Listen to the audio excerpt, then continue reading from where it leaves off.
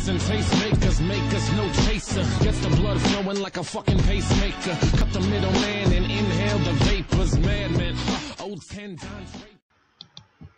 Yo, yo, yo, yo, yo, yo, yo, yo, yo, what up, we're back. It's your boy Rexit, and wow, my hands are waxy. And we have two crypto key openings. I think it's two, please tell me it's two. No, it's not two. One crypto key opening, supply drop. So yeah, let's get to it. Hope I get something good.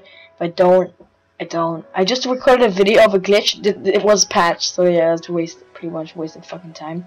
So black market, let's open the supply drop.